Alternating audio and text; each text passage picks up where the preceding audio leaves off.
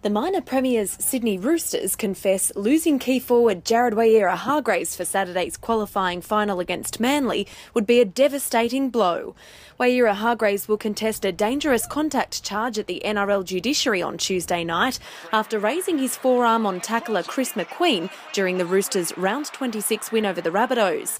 The next few hours will now be a nervous wait for the Tricolours. He's, uh, he's our go forward. Uh and um, yeah, uh, everything he does like uh, off the ball is um, is crucial for us. So it, it is going to be disappointing if we lose um, Jazza. Um, yeah, he's going to be a massive loss.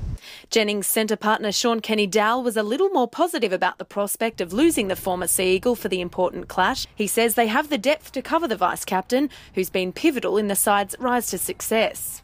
We get Luke O'Donnell back this week, and I thought Marty Kennedy um, really stood up to to playing that role as a front rower. So um, we've got some depth, but losing Jared, you know, he's been one of our key performers all year, and um, you know, it would be tough without him.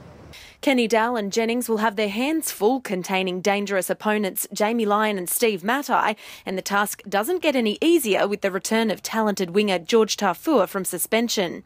But Kenny-Dowall's excited about the challenge and says he's looking forward to running out in front of a sea of fans at the doubleheader. We'll have a mix of all, all sorts of rugby league fans and um, it makes for it's going to make for a great atmosphere. So um, I, I know the boys are really excited about that and hopefully see heaps of Rooster fans out there to support us. The Sharks will play the Cowboys at 4 pm before the Roosters kick off against the Sea Eagles at 7. Tickets are now available through Ticketek. Amy Lindsell, NRL News.